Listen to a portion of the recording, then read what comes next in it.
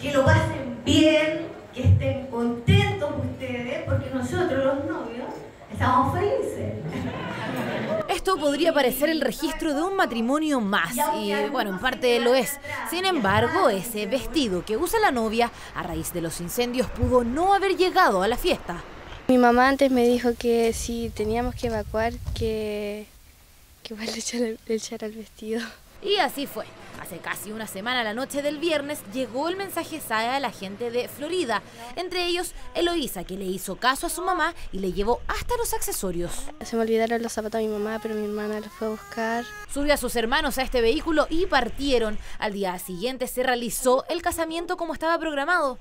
Con solo 14 años logró hacer todo eso y salvar algo crucial para la ceremonia, pero algo faltó. Se nos fundieron los anillos, Cristian vino el sábado en la mañana y encontró unos pedazos. Mari, esto será oro. Yo soy químico de profesión, sí, eso es oro, Cristian. Así que los mandamos a, los mandamos a hacer de nuevo en el fondo que ojalá no nos cobren el oro porque como ya está en la pura hechura. Y si le mostramos este horno de barro probablemente piense de inmediato en comida, pero no, no para Pedro al menos. Para este hombre significa el lugar que le salvó la vida. Dentro de él, sí, adentro corrió a refugiarse de las llamas. ¿Cuánto tiempo estuvo ahí adentro? Mire, sobre, sobre una hora. No podría decir tan justo, pero a lo mejor podría decir una hora, cinco minutos, una hora, diez minutos. Más no estuve. Su hogar y las cosechas se quemaban en Santa Juana, sector del río Lía. Él se dotó de lo esencial e ingresó completamente mojado, dice, en compañía de su perro y uno de estos pollitos.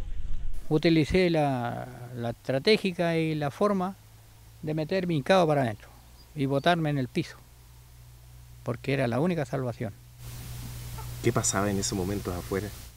Aquí está el fuego, las llamas. Aquí había una ruma de leña de, para la casa que tenía yo, seca.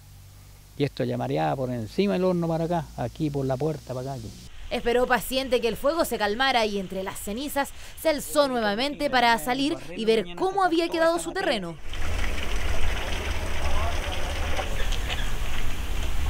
De su casa solo lo que se ve, de la de su hijo recién terminada solo esto. Allí tenía la escala metálica que compró el hijo. Mandó a hacer junto con el portón que está afuera.